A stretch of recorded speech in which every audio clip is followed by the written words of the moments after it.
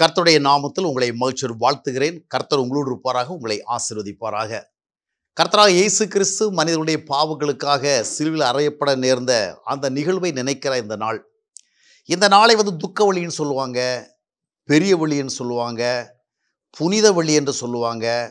இந்த மாதிரி பல விதங்களில் இந்த வெள்ளிக்கிழமையை குறிக்கிறாங்க. ஆனால் இது துக்க வெள்ளியா பெரிய வெள்ளியா நல்ல வெள்ளியா?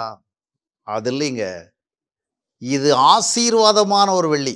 அப்படின்னா இந்த வெள்ளிக்கிழமையில் மனித வாழ்விற்கு தேவனுடைய பார்வையில் மிகப்பெரிய ஆசீர்வாதமாக இருந்த அந்த ஆசீர்வாதத்தை பெறுவதற்கு தகுதி உருவாக்கப்பட்ட நாள். இந்த நாளில் நம்ம துக்கமாக இருக்கணும்னு ஆண்டவர் அழைக்கலை. இந்த நாளில் ஆண்டவருடைய பாடுகளுக்காக நம்ம அனுதாபப்படணும் ஆண்டவர் நம்ம அழைக்கலை. இந்த நாளில் ஏதோ ஒரு விசேஷம் இருக்குன்னு சொல்லி இந்த நாளில் சில விஷயங்களை செஞ்சால் நல்லது நடக்கும் அப்படிங்கிறதுக்காக ஆண்டவர் நம்ம அழைக்கலை. இது மனித மனுக்குலம் ஆசீர்வதிக்கப்பட்ட நாள். ஆக நடந்து முடிந்த பாடுகளுக்காக இன்றைக்கு நாம் அழுது கொண்டிருக்க வேண்டிய தேவையில்லை. இன்றைக்கி நம்ம சன்னியாசி போல தோன்ற வேண்டிய தேவையில்லை. வசதி இருந்தால் நீங்கள் நல்லாவும் சாப்பிட்டுக்கலாம் இல்லை கஞ்சி குடிச்சிக்கலாம் மோர் குடிச்சிக்கலாம். அது உங்கள் சௌகரியம் அது நம்ம திருப்தி. அதில் ஒன்றும் பிரச்சனை கிடையாது. ஆனால் ஆண்டவர் இதெல்லாம் எதிர்பார்க்கல. நாம் கஞ்சி குடிக்கணும் நாம் அது உபவாசம் இருக்கணும் இன்றைக்கி நம்ம ரொம்ப சோக முகத்தோடு இருக்கணும் இன்றைக்கி நம்ம ரொம்ப சோர்வான ஒரு மனநிலை இருக்கணும் ஆண்டவருடைய பாடுகளை நினைத்து நினைத்து நம்ம நம்ம ஆளணும் இதெல்லாம் ஆண்டவர் எதிர்பார்க்கலை.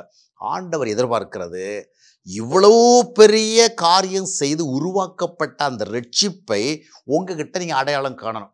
இன்றைக்கி நம்ம சர்ச்சில் போய் உட்காந்துட்டு மூணு மணி நேரம் மும்மணி ஆராதனை நடத்துகிறதுனால ஆண்டவர் பிரியப்பட்ட விட மாட்டோம் அப்படி போய் உட்காந்து நம்ம ஆராதனை நடத்துறது ஒரு தவறும் கிடையாது. நிச்சயமாக நம்ம கலந்து கொள்ளும். ஆனால் நோக்கம் என்ன? அங்கே போய் துக்கமாக உட்காந்துட்டு இருக்கிறதா? இல்லை. அனுதாபம் காட்டுறதா? இயேசுநாதருக்கு அழுகிறதா? இல்லை. இந்த பாடுகளெல்லாம் ஏற்றுக்கொண்டு ஆண்டவர் நமக்கு ரட்சிப்பை உருவாக்கினார். இதைத்தான் எப்ரேயர் ரெண்டு நாள் சொல்லுது. சச் அ கிரேட் சால்வேஷன் இவ்வளோ பெரிதாக ரட்சிப்பு. அதை நீங்கள் கவலை அதை குறித்து கவலையற்றவளாக இருந்தால் தண்டனைக்கு எப்படி தப்பித்துக் கொள்வீர்கள்? அப்போ இன்றைக்கு நாம் நினைக்க வேண்டியது ஆண்டவர் நமக்கு ஒரு பெரிய ஆசீர்வாதம் தருகிறதுக்கு நாம் தேவனுடைய பிள்ளையாகிற ஆசீர்வாதம் நித்தியத்தை சுதந்திரிக்கிற ஆசீர்வாதம் இந்த உலகத்தில் கர்த்தரோடு வாழுகிற ஆசீர்வாதம் இந்த ஆசீர்வாதம் தருகிறதுக்கு கர்த்தரா இயேசு கிறிஸ்து சிலுவையிலே நம்முடைய பாவங்களுக்காக மறித்தார் எனவே இந்த ஆசீர்வாதத்தை நாம் சுதந்திரிக்கணும். இந்த துக்க வெள்ளி என்றும் பெரிய வெள்ளி என்றும் புனித வெள்ளி என்றும் நம்ம பல பேரில் இந்த வெள்ளிக்கு பேர் வைத்தாலும் இது நம்முடைய ஆசீர்வாதத்தை குறித்து நாம் உறுதிப்படுத்துகிற வெள்ளியாக இருக்கணும். இந்த வெள்ளிக்கிழமை நான் ரட்சிக்கப்பட்டவன் நான் கர்த்தரா இயேசு கிறிஸ்துவ ரத்தத்தில் கழுவப்பட்டவன் அவர் அனைத்த பாடுகளினாலே நான் மறுபடியும் பிறந்தவன். தேவடி பிள்ளை இதைத்தான் ஆண்டவர் விரும்புகிறார். எனவே நீங்கள் ரட்சிக்கப்பட்டவர்களா? மனம் திரும்பினவர்களா? மறுபடியும் பிறந்தவர்களா? தேவனுடைய பிள்ளையா? அதை கேளுங்கள் கேள்வி.